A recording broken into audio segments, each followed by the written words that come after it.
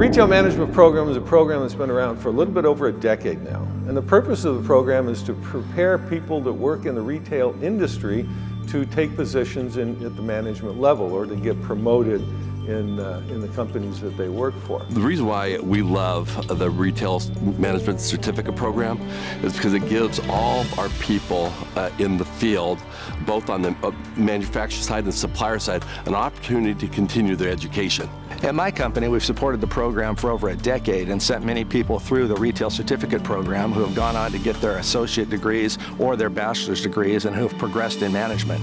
And we believe in the success of this program so strongly that we now require it as a minimum criteria to advance into management beyond department manager at store level. We've got folks at the very highest level, an executive vice president of operations that has taken advantage of the retail management certificate program and then on to complete a degree. And we've got assistant department managers that are very much at the entry level of management that are participating and uh, growing as a result of it. You know why you do something. Personally, I'm doing it because I'm a boss or I'm doing it because I'm a manager. But then you go, wait, I did it because I just read it and understood what I did. So I could implement everything that I learned, being the fact that it had to do with my industry. We have changed so much in the last 10 years at breakneck speed. In the next 10 years, we will change exponentially that much faster.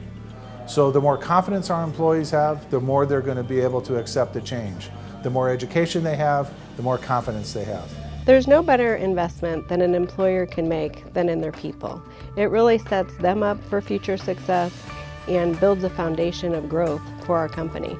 I'm really excited to put the Retail Management Certificate program on my resume. I feel like it gets me to the front of the line. It's the big reason for my last two job promotions. I was very unsure where my future was going career-wise, and the door opened to the Retail Management program, and that really opened the door to a clear path of what I enjoyed and what I liked.